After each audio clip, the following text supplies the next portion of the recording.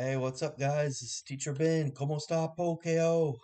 I'm coming right back at you with yet another Tagalog lesson specifically for you. In today's short lesson, we're going into my ninth installment in the ongoing series of how to express your love to your Filipino partner in the Tagalog language. All right, let's hit it. Okay, so we have um, you changed my life. Okay, so uh, one of the keywords is the first word we're going to um, we're going to dissect here.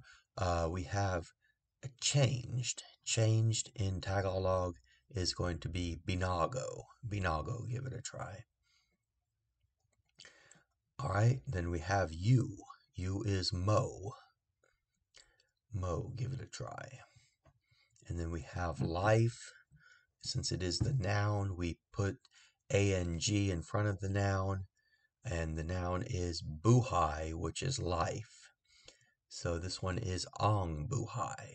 Ang buhay, give it a try. Okay, and last but not least, uh, we have ma mine. This one is actually, this is I. So uh, it is ko ko, give it a try. Okay, so we have changed you, life, I. So that means you changed my life.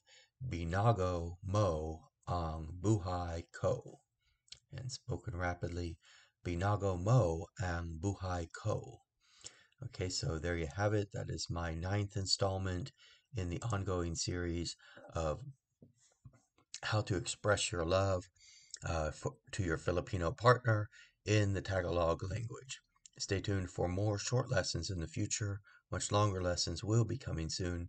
To stay up to date on these and get notified when the longer videos will be posted, please like and smash that subscribe button. I look forward to seeing you soon. Have a nice day. This is Teacher Ben. May ka suhin long ako. Iwan muna kita.